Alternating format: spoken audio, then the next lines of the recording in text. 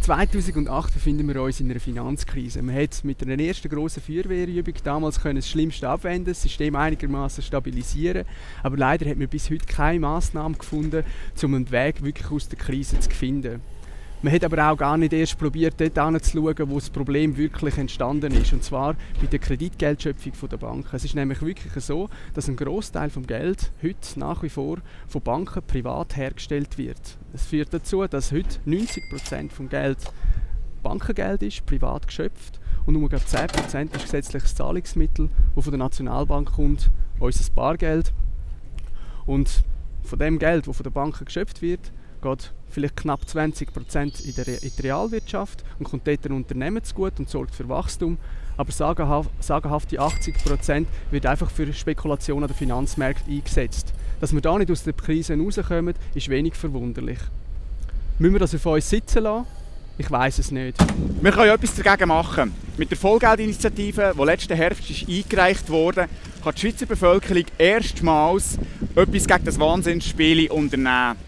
In Zukunft soll nur die Schweizer Nationalbank unser Geld erschaffen und vor allem das elektronische Geld auch erschaffen und nicht mehr die privaten Banken, so wie das bis anhin war. Die Konsequenz wäre, dass auch wenn eine Bank sich verspekuliert und Konkurs geht, dass unser elektronisches Geld auf unseren Konten immer noch sicher ist, so sicher wie das Bargeld oder unser Geld im Sparschweinli.